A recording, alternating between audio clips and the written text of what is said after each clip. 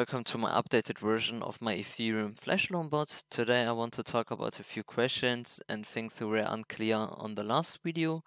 Also I changed something in the code so to prevent possible compiler problems. So first you need to download as always MetaMask and from now on it only works with MetaMask and also I often become the question if this works also on mobile.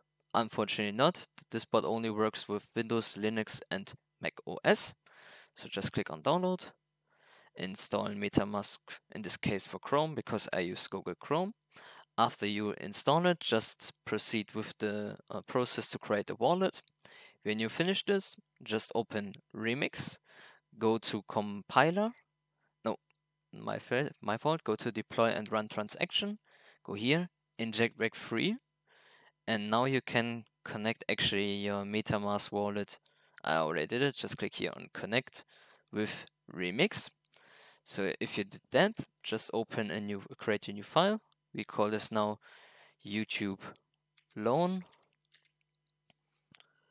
And next step we need to do is we head over to compiler and we're choosing 0.0 plus commit.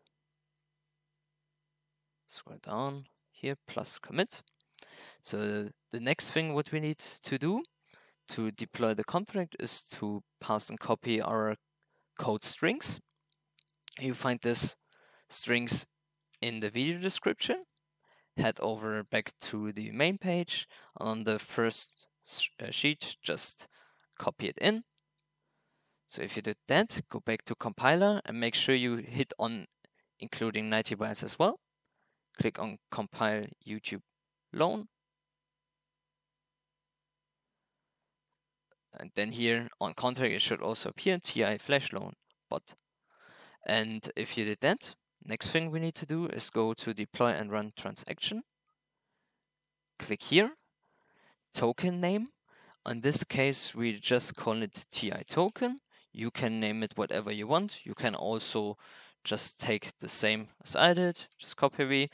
And the loan amount, this I often get asked, I don't change it I just let it stay always to 1000. But you can do it also like that, that 0.1 ether is like 100. So basically if you're using 1.5 ETH, the loan amount is 1500. In my opinion, I don't find it really necessary, but my Discord community thinks that it's more important to change it, but I leave it always on 1000, even though I use in this case later on uh, well, 1.5 ether. Then we come to click the transaction. And then we need to pay a small fee for that to deploy actually the bot. So you can estimate to pay roughly around 90 to 130 US dollars, depending on the gas just and fee. Meanwhile, the process is finished. You get also the confirmation, but I want to ask uh, or resolve a few questions. Um, often the people ask me, I have it now here notice, why I need to have funds on the bot itself when it makes profit with gas.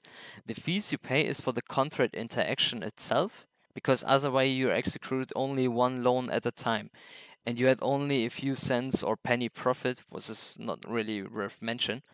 The bot scales with the few cents, so the procedure when you enter the address is like 100 to up to 1000 loans at once. That's why you also make such a great return.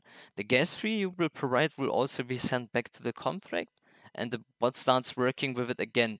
So there are a few loans who will fail, but that will doesn't impact you at all because the bot takes your profit, then sends the funds back to the bot and searching for another opportunity and you only send back the profits the bot made via the loans. And often people ask me, how long should you let the bot run? It's really up to you. I prefer to let my bot run between one or two weeks. So after the final procedure is done, you get the contract address here and you're good to go to send actually the funds to the bot. Just click here on send. I told you in this case we are using 1.5 Ether just we need to wait now again to proceed it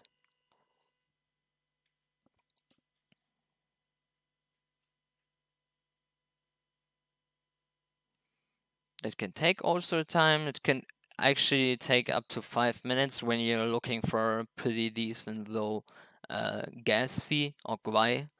And then it could be take longer because then you have a low fee and the fee may be increased already, and then you need to take uh, it take a while that the process is actually finished. So last time I used the bot with one ether and let it run for almost two weeks and I told you also that I want this time to send all my profits back to a KuCoin wallet. So I made roughly in this two weeks 18,219 US dollars just with two weeks of using the Ethereum flash loan bot. So the estimated profits are around 37k a month. That is really insane. That's why I told you guys also on my last BNB video that the Ethereum version proceeds much more profits than the BNB version. It's because the entry costs are higher, but there is much less competition compared to the BNB version, where you can start with 200 US dollars already, what is almost the cost of the fees to deploy the contract to the Ethereum version. The min amount to let the bot run with is still 0.3 Ether, but I recommend at least 0.5 Ethereum. As I already said, in this case we sent 1.5 Ether to the contract. The final step is to start the bot. All you need to do now is click here on this arrow, hit the action button, and you are basically after you pay the fees, you are good to go. It takes also a little time to yeah, proceed it. As a side note, when you finally deployed the bot, just send me the contract ID via Discord so I can assign your roles in the Discord channel so you can use all channels. And I highly recommend it to join the Discord channel for latest news and updates. We already reached over 500 members who are using the bot what is actually absolutely amazing, in my opinion.